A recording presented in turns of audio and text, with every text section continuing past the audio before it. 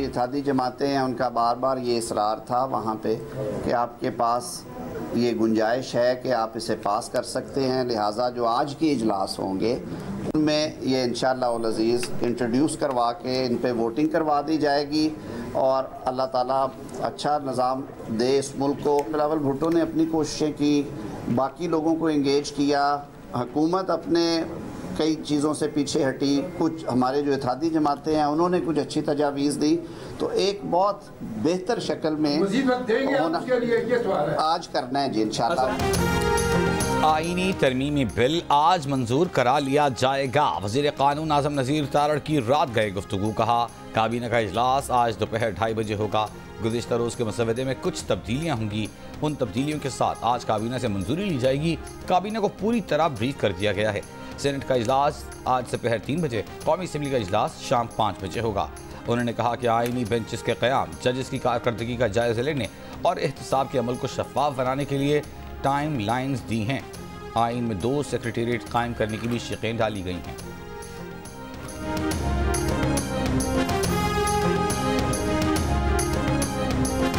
इस बात की ज़रूरत पाकिस्तान तहरीक इंसाफ को थी और मैंने जायज़ समझी। कि वो अपने यहाँ पर सीनियर पार्लियामेंट्री पार्लियामेंटेरियंस और पार्टी के आला ज़िम्मेदारान से भी मुशावरत करें। मुझे इन उनका जवाब मौसू हो जाएगा।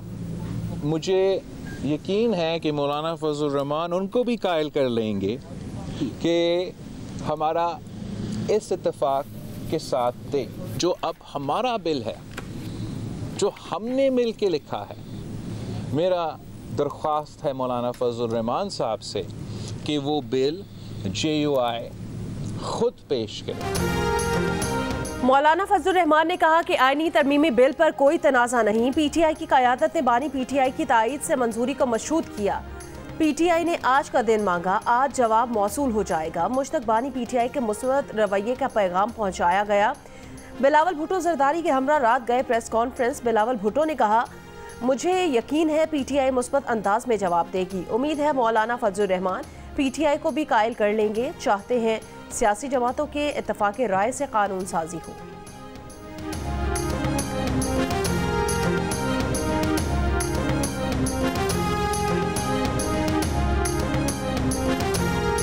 सेनेटर्स कौन है जो इनकी तरफ़ जा रहे हैं? नाम अभी आ जाएँगे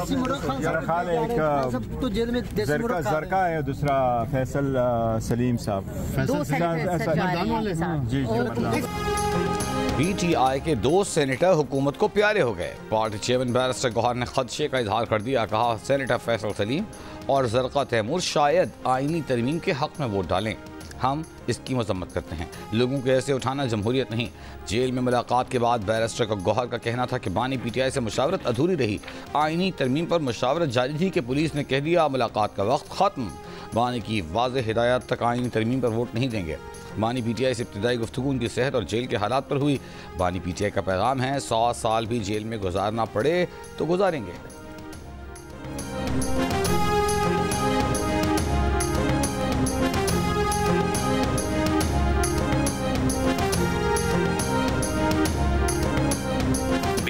एक ज़ाती राय है कि उनको मुतफिक नहीं किया जा सकता। वो सिर्फ़ उनका डिलेइंग टैक्टिक है कि वो किसी तरह से जो है वो मौलाना फजल रहमान साहब को चक्कर दें लेकिन आ, उन्हें ये मालूम होना चाहिए कि मौलाना को इस तरह से जो है वो डॉज करना जो है उनके बस का रोग नहीं है। वज़ीर आज़म के मुशीर राना सनाउल्ला ने कहा पीटीआई को कायल किया ही नहीं जा सकता। पीटीआई की कोशिश है मौलाना साहब को चक्कर दे, मगर इस तरह मौलाना को धोखा देना उनके बस की बात नहीं। पीटीआई ना मानी तो मौलाना फजल रहमान अपना मुसविदा खुद पेश करेंगे। ये भी कहा कि कोई बंदा सामने आए और बताए कि इतने अरब रुपए की ऑफ़र हुई और फलां ने की, जिनका नाम ले रहे हैं, अगवा हो गए हैं, वो सारा दिन पार्लियामेंट में मौजूद रहे। ये 10 करोड़ से शुरू हुए हैं, अब 50 पर चले गए। इनका फॉर्मूला ये है कि इतना झूठ बोलो कि लोग सच समझना शुरू कर दें। जिस किसी ने भी आकर वोट देना है सब देख रहे होंगे।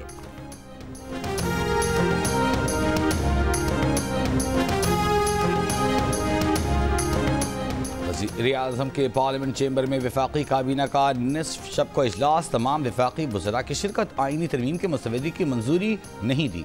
सेनेट और कौमी असम्बली के अजलास भी मुलतवी कर दिए गए। हफ़्ते के रोज़ कई बार मुलतवी होने के बाद सेनेट का अजलास बिल आखिर रात ग्यारह बजे शुरू हुआ। फिर इतवार की रात साढ़े बारह बजे तक मुलतवी किया गया। रात गए अजलास आज दोपहर तीन बजे तक मुलतवी कर दिया गया। कौमी असम्बली का इजलास हफ़्ते की रात पौने बारह बजे के करीब शुरू होते ही इतवार की सुबह साढ़े ग्यारह बजे तक मुलतवी किया गया, फिर दोपहर तीन बजे और फिर शाम पाँच बजे तक मुलतवी कर दिया गया।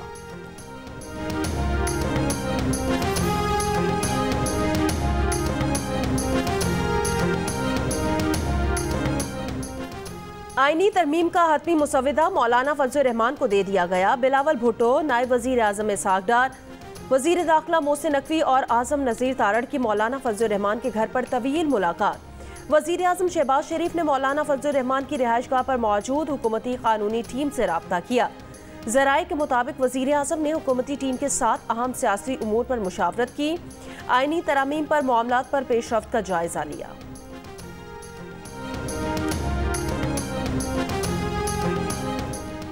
वफाकी वज़ीर और एम के एम के रहनमा खालिद मकबूल सिद्दीकी ने कहा है कि उनकी जमात अपना लाहमल अभी तैयार कर रही है। काबीना इजलास के बाद जी एन ए से बातचीत। सेनेटर फैसल वावडा ने कहा, कोई है या नहीं, छब्बीसवीं तरमीम पास होने जा रही है। आ जाएँगे तो सब बच जाएँगे, वरना तरमीम तो हो जाएगी। इल्ज़ाम पर अब कोई वजाहत नहीं होगी। एन पी के सेनेटर अहमद वली खान ने कहा है कि उन्हें यकीन दहानी कराई गई है कि छब्बीसवीं आइनी तरमीम के बाद कमेटी बनेगी, जो के पी बलोचिस्तान और एम क्यू एम के मसाइल देखेगी। उम्मीद है सूबे का नाम खैबर पख्तूनख्वा से बदल कर पख्तूनख्वा रखा जाएगा। सेनेट इजलास में गुफ्तु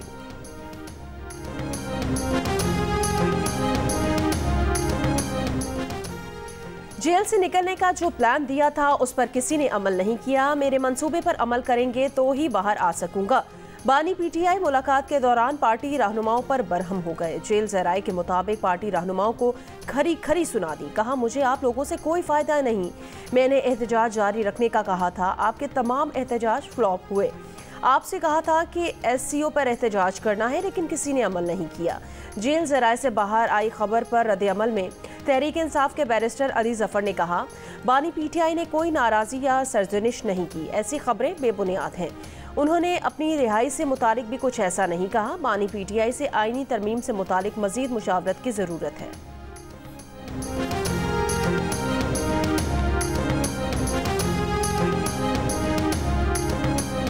बानी पीजीआई को नाश्ते में कॉफ़ी, चिया सीड्स, चुकंदर का जूस दिया जाता है। दही, बिस्किट, खजूरें दी जाती हैं।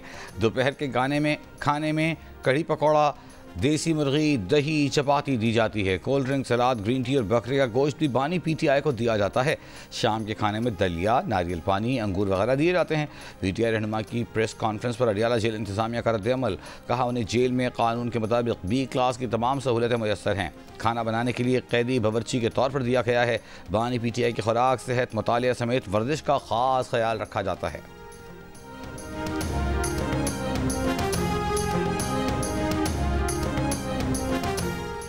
चीफ जस्टिस काजी फाइजीसा ने मखसूस नशस्तों के केस में आठ जजेस की दूसरी वजाहत पर डिप्टी रजिस्ट्रार मुजाहिद महमूद से वजाहत तलब कर ली। असिस्टेंट रजिस्ट्रार शाहिद हबीब और वेब मास्टर आसिम जावेद को भी नोटिस जारी। पूछा गया कि ओरिजिनल फ़ाइल जमा किए बगैर वजाहत कैसे जारी हुई? वेब मास्टर से वजाहत तलब की गई कि बगैर ओरिजिनल फ़ाइल जमा कराए, ये दूसरी वजाहत सुप्रीम कोर्ट वेबसाइट पर कैसे आ गई? गोया सबका इस बात पर इतफाक़ है कि अब मंसूर अली शाह चीफ जस्टिस नहीं बन रहे। अमीर जमात इस्लामी हाफिज नईम रहमान का बयान, कहा बिलावल कहते हैं तरमीम पर पी पी पी और मौलाना फजल रहमान का सौ फ़ीसद इतफाक़ है। बैरिस्टर गौहर कह रहे हैं कि पी टी आई का फजल रहमान से इतफाक़ राय हो गया है। राना सना कहते हैं मौलाना ने हुकूमत के मुसवदे से इतफाक़ कर लिया है। आइनी तरमीम के बाद चीफ जस्टिस का तकर सीनियरिटी पर नहीं होगा। अदलिया पर हुकूमत का कंट्रोल होगा।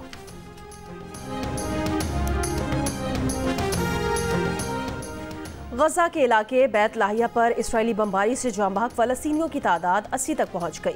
मुताद जख्मी शिमाली गजा पर बमबारी से मजीद बीस फ़लस्तनी शहीद। इसराइली फौज की गजा में अपने दो फौजियों की हलाकत की तस्दीक, शिमाली गजा के कमाल अदवान अस्पताल के अतराफ गोलाबारी।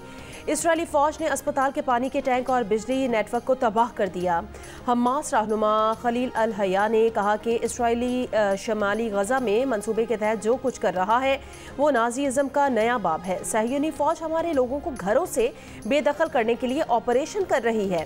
फ़लस्तीनियों को घरों से बेदखल करने के मंसूबे को कामयाब नहीं होने देंगे।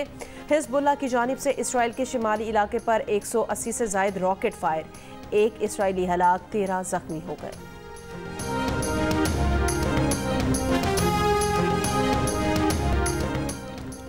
स्वात मानसेहरा ढेर इसमाइल खान एबटाबाद शांगला लोहरदीर में आज ज़मनी बल्दियाती इंतबात होंगे बाजोड़ बुनेर करक मानसेहरा कोहाट नशहरा लकी मरवत में भी ज़मनी बल्दियाती इलेक्शन होंगे इंतबात विलेज काउंसिल और नेबरहुड काउंसिल की सतह पर होंगे इंतबी सामान पोलिंग स्टेशन पर पहुँचा दिया गया पोलिंग का अमल सुबह आठ बजे से शाम पाँच बजे तक जारी रहेगा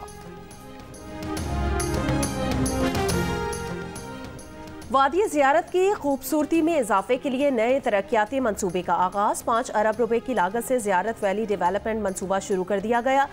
मनसूबे के लिए कदीम जौनीपर के दरख्तों को काटने पर शहरियों का इजहार तशवीश। डिप्टी कमिश्नर जियारत का कहना है, अभी तक सिर्फ़ दो दरख्त काटे गए हैं, मजीद सोलह दरख्त काटे जाएँगे।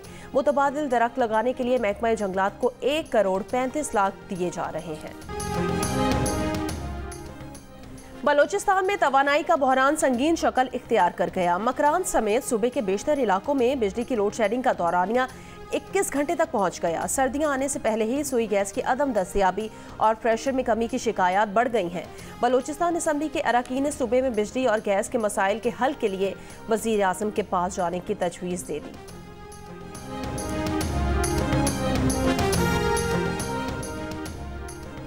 इसराइल की जानब से ईरान के खिलाफ महाज जंग खोलने की तैयारी से मुतल दस्तावेज़ अफशा।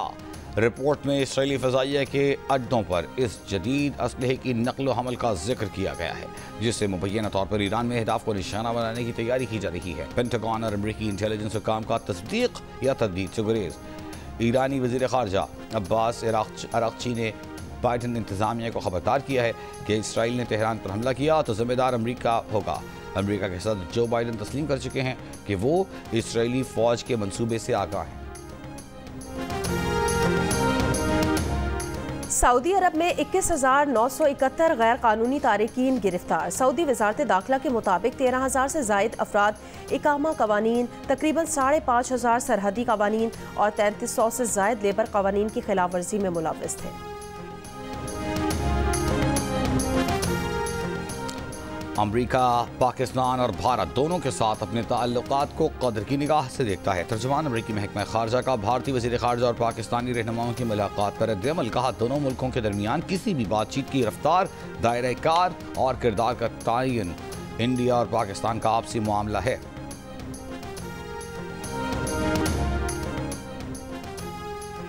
हज़रत निज़ामुद्दीन औलिया रहमत के सालाना उर्स की तकरीबा में शिरकत के लिए पचहत्तर पाकिस्तानी ज़ायरीन भारत रवाना हो गए। ज़ायरीन हफ़्ते की सौ वागा के रास्ते भारत गए और उसकी तकरीबा 24 अक्टूबर तक नई दिल्ली में जारी रहेंगी।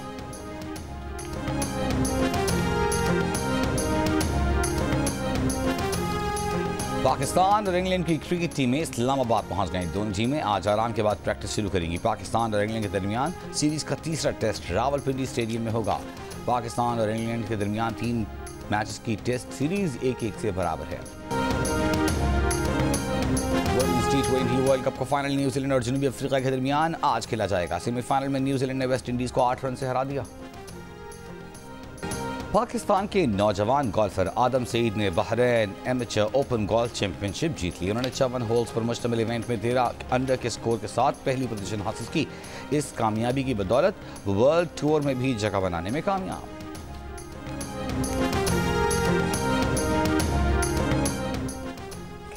लाहौर के पोलो क्लब में खातून नेज़ाबाजों के दरमियान टेंट पैगिंग का इवेंट। खवती नेज़ाबाजों ने हदफ उखाड़ने में ऐसी महारत का मुजाहरा किया कि देखने वाले दाद दिए बिना ना रह सके।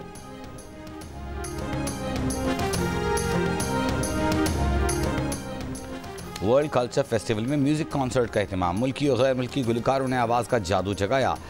काबन खैबर पख्तूनख्वा फैसल करीम कुंडी की कराची आर्ट्स काउंसिल आमद सिंध आर्टिस्ट एग्जीबिशन का अफ्ताह किया। जंग और जियो के इश्तराक से कराची आर्ट्स काउंसिल में वर्ल्ड कल्चर फेस्टिवल दो नवंबर तक जारी रहेगा। नौशहरा में government high and secondary schools में सालाना स्पोर्ट्स फेस्टिवल का आगाज़। तलबा ने रक्स और पीटी शो करके तकरीब को चार चाँद लगा दिए। तो मैं उनको देख के ये समझता हूँ कि मैंने कभी मेहनत नहीं की। उनको देख के मैं ये समझता हूँ। हालाँकि मैंने की होगी लोगों को लगता होगा। जैसे अगर मैं भी कुबरा खान का हस्बैंड बनता तो मुझे भी मेहनत ना लगती मेहनत ना लगती तो आपके वालदेन की क्या ख्वाहिश थी कि आप बड़े होकर क्या बने? जब सब मैंने साबित कर दिया तो फिर मैंने वो किया जो मुझे खुद करने का दिल चाह रहा था। तो आपके बच्चे हैं। जी।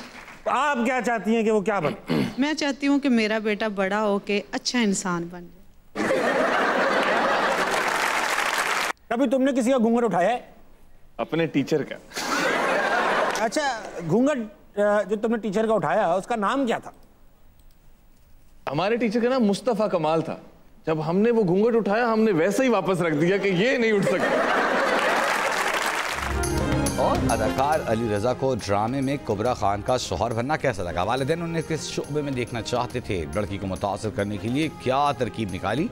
मिलिए नौजवान अदाकार से प्रोग्राम हंसना मना है। आज रात ग्यारह बजे सिर्फ़ जियो न्यूज़ पर।